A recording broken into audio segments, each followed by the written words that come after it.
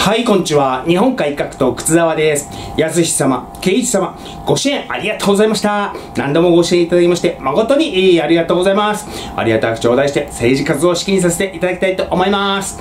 えーとある場所に貼ってもらってる、私のポスター、破られてたって連絡ありまして、貼り直して、えー参りました。まあ、こんなようなポスターなんですけれども、えー同じ場所にですね、他の政党のポスターも貼ってあるんですけれども、私と自民党のポスターだけが刃物で切られてました。えー立憲共産令和のポスターは無事でした。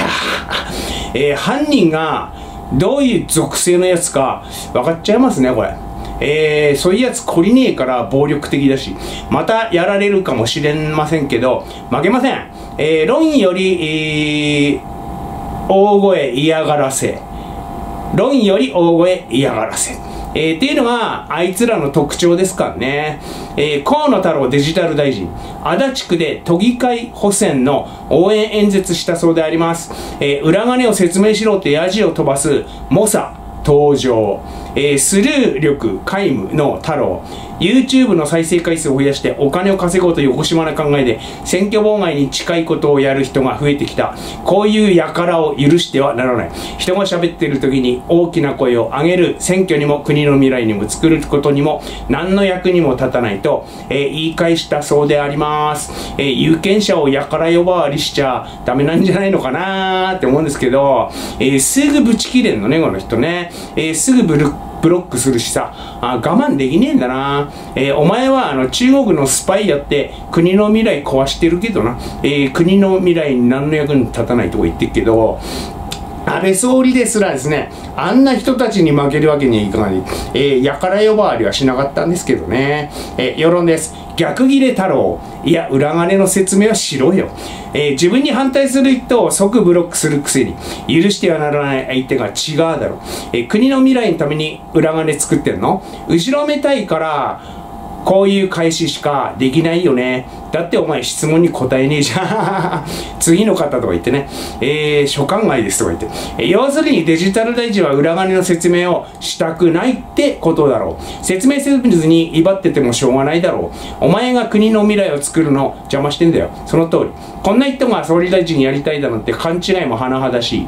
えーそこは次の方どうぞで笑いを取りに行け。遮って怒らせてるだけなのに口喧嘩強いと思ってる人いるよねえー人が喋ってる時に大声がご不満みたいなんですけど太郎はねあの自分が喋ってる時は万人がねあのそれを静かに傾聴すべきって思い上がってんですかね、えー骨髄まで染みついた傲慢さが言葉によく出てていいですね。えー麻布大学時代まあ10位なんですけど10位の大学、えー大学病院ですねあの珍しいケースの中型犬、えー入院しまして、えー来まして、レントゲン取るとですね、脳の半分ぐらいが液状化してるんですけど、まあ脳軟化症って、えー普通に起きて、普通に飲んで、普通に食べて、通に生活してました。えーこれあの脳がおかしい、人がおかしいってわかるのは喋っからなんですよね、結局はね。えーご飯まだかの、おじいちゃんさっき食べたでしょ。えーこれでおかしいってわかるんですけど、まあ犬はね、あの喋んないから話せないから、明らかに脳が異常でも分かりにくいし分からない。えー、河野太郎はもう話さなきゃいろいろバレないのにね、えーそのあのブロックしまくって煽り体制ないとか、えーすぐブチ切れてあの短期であるとか、えー私が訴えていることからも分かるように煽り体制ゼロ。とかね。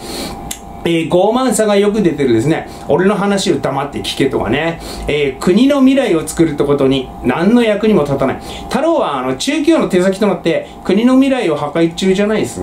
えー太陽光パネルのために山林切り開いて自然破壊と土砂崩れ災害を起こしてんじゃんね。親父の傭兵は87歳にもなって、え今も元気に中国モーデやってるしね、えー売国度のサラブレッドですね。河野一族中共の犬つってあの、え書いてあの歌えられましたけど、えー今日言った動画も歌えられるのかな？としたら。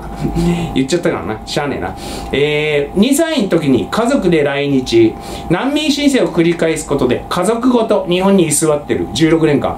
18歳川口クルド人男が記者会見強制送還されるとトルコ語もクルド語も話せない僕は全く生活できません。人生めちゃくちゃになってしまいます、えー、難民申請は2回までってなったからねしゃあないね。君のところにも送還のお知らせが届いたのかな。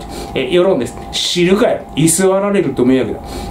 16年間も不法滞在を続けた親を恨め正式な手続きせずに入ってきた自業自得だ。ろトルコ語を話せないのは勉強しなかった。お前のせい。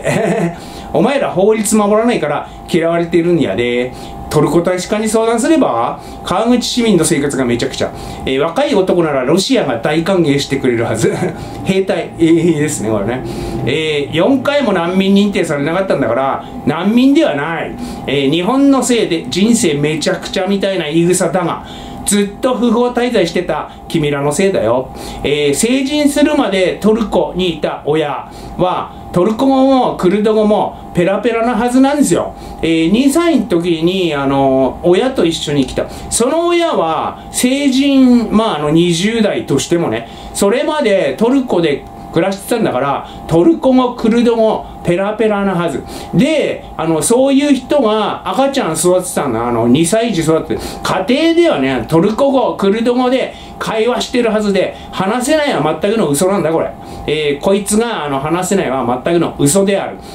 大体どこの国でもですね家庭内ではあの母国語であの生活しますもんね、えー、例えばまああのアメリカから来てて10年も日本にいて外では日本語ペラペラだけど、まあ、家庭内では英語で喋るでしょうよ子供とかと、えー、全くの嘘ですよ。背後にパヨがついててこう言えって入れ知恵したんでしょうねこれ。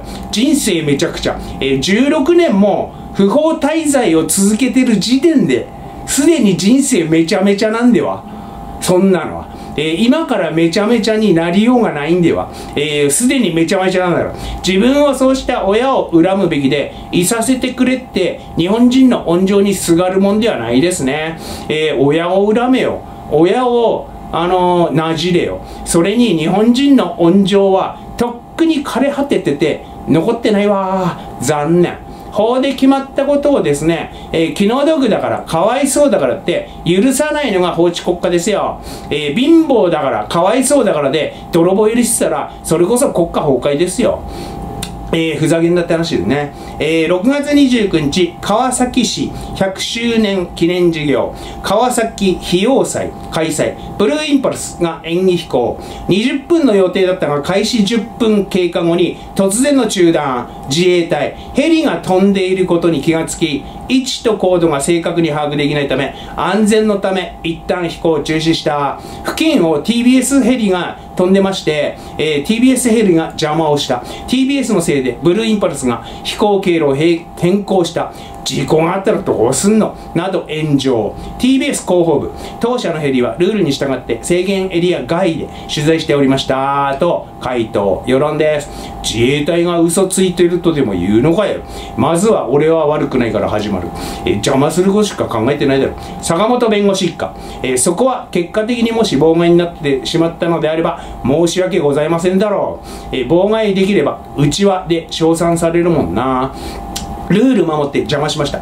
相変わらずのくず曲っぷり。わざとやったに決まってる。ルールに従ったとか大嘘。言い訳しないと気が済まないのか。辺野古で警備員殺した奴らと同じようなこと言ってる、えー、TBS にはうんざりと、えー、あらあらまあまあ。TBS を擁護する意見が全然ないな、えー、日頃の行いって大事ですね、えー、坂本弁護士一家っては永遠に言われるんだしね。TBS 株主総会ですねあの日テレと同日同時刻にありましたけれどもそっちはあの日テレみたいな地獄絵図にはならなかったんでしょうかね。そっちは。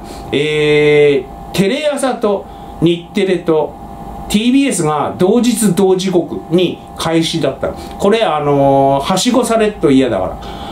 株主なんかできたら一人も来てほしくねえぐれえがあの会社の本音だから。あですね。富士だけねあのー、別であのー前日3社との前日にやったんですけどその日はですねあの東電の株主総会とあの同時刻に始まってたフジテレビ。東電の方にもですね、えー、右も左も押しかけんですよ。なんか言ったろうと思って。えー、右の方は原発動かせって言いたいし、左の方は原発動かせなって言いたいんで、あの、押しかけんです。だから、フジテレビや他のテレビ会社、えー、と、あの、合わして、えー、来させないっていうよりも、東電に合わして、えー、来させない、えー、来れないっていう方に、かけた。あ んでしょうね。えー、地獄絵図何があったのかな ?TBS はな。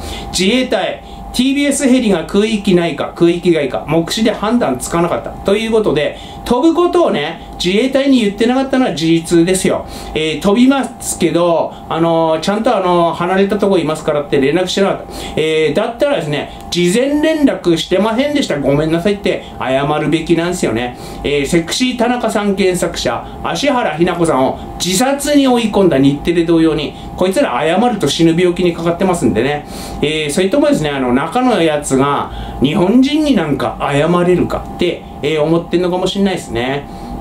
韓国野党共に民主党が旭日旗禁止法案提出。旭日旗など軍国主義の象徴象徴物を制作ルフまたは展示したものは罰金230万円以下の罰金だって、え世論です好きにしたらいいじゃない。太陽が怖い生き物だしね。デモで破くのはどこなの。徴兵してる国に軍国主義がとか言われても修具政治の行き着く先がこれか。ついでに日本旅行も禁止して朝日新聞は罰金払え 韓国海軍兵は敬礼してたけど、えー、これはあの日韓疎遠が進むからぜひ可決してほしいですね。そもそもがあの竹島軍事占領して敵国なんだから普通に貿易していることや韓国人が普通に日本観光できることがおかしいんだよな、えー、丸に放射線って一章は、えー、世界中にあるし漫画でもあの光の描写とかでもよく使われてんでこれ禁止にしたらあの韓国の漫画に大ダメージですね。ぜひとも可決してほしい、えー、太陽の衣装、えー、シンボルを嫌悪するってお前ら吸血鬼かっつうの、えー、君が代を聞くと吐き気するっつうし旭日記見ると過呼吸になるっつうしで弱点多すぎるよね。弱すぎるよね。今日の単身です。今日から新紙幣流通開始。今日だけで1兆6000億円出ます。でということで、えー、私はまだですけれども皆さんはもう手にされましたでしょうか？カラーコピー機でコピーして捕まる場がいるんだろうな出るんだろうな。今のコピー機はですねあの札コピーすと自動で警報なるそうであります、えー、ですんであのくれぐれもやらないでください。無党派層に限れば連邦支持率を石丸支持率が抜いたっていう報道にパヨさんたち絶叫。年々減り続けるパヨさんたちにとって蓮舫は最後の希望なんじゃないでしょうか、えー、今回逃したら4年後は自分ら生きてないかもって年のパヨさん、まあ、80代後半であるとか、まあ、そんな感じのパヨさんたちにとって正念場ですね、えー、大手新聞もパニックになっているようで何よりであります、えー、蓮舫は最大150万票と予想してます私。それより少ないこと大希望です、えー、そんだけあの都内のパヨが減少してるってことでね、えー、今回はあのめぼしい、えー、パヨの表割るようなやつ出てねえからあの山本太郎みたいな。えー、大体あの蓮舫の得票でパヨの総数わかりますね、えー、都内に潜伏しているパヨの総数が大体わかりますね。あの、蓮舫表で。えモスバーガー、中国撤退。2015年頃、盛んにやってた、バスに乗り遅れるなって、中国進出を煽った日経新聞に騙された口ですかね。まあ、あの、日経だけじゃなかったんですけどね、あの、煽ったのは、反スパイ法で、なんとなく、逮捕される国から日本企業撤退はめでたいですね。えー、嫌でも生かされる日本人社員が減るってことでね、えー、しかしあのたったの9年でこのありさま激変ですね。なんかあの世界の変化が早いな。2015年頃って安保法制えー、安保法制改正で国会前にすげえ数のあのパヨが集まって、えー、太鼓叩いてて見に行った見物に行った覚えがあります、えー、チャンネル登録よろしくお願いいたします。デトックスジャパン。